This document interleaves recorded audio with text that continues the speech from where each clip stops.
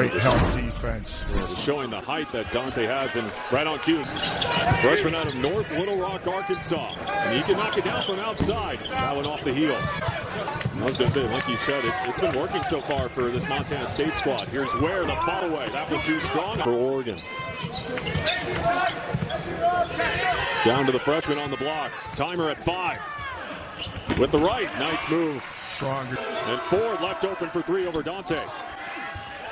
And where? The transfer. He and Belo, the only two players that Montana State will lose this year. There you go. You talked about it. Time in Montana State history. Ware? Banging on the block. Another fall away. Offensive rebound. Guerrier. Uh, that's a tough call. Osobor was hooked up inside. There's a lob over the top. Much about Nate Bittle offensively as that three rounds in and out right there from Tyler Patterson. But as BJ highlighted, still not 100% healthy. Ware? Throws it down and a foul. The freshman. By Darius Brown. He went out. You see him go out and misses. Now there's nobody left to help out. Sam Lecholat just came back and reached up. Gets his own miss. And how about two straight dunks for the freshman out of North Little Rock?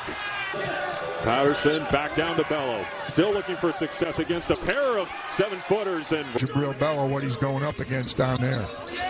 Ware the big man for three. Splash. Richardson throws it up and off the lob. Where Robert Ford the three.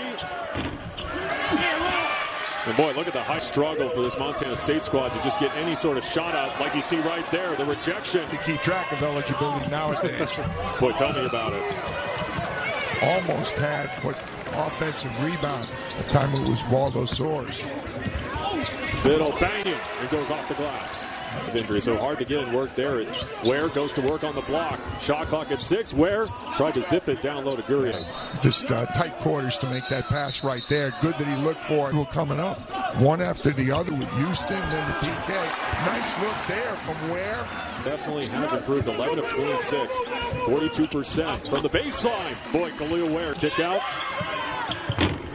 That one short. Put back no good, and Kel'el Ware with. Um, he'll know next time. And Danny Sprinkle certainly understands. Yeah. He's been on that end of games like this himself.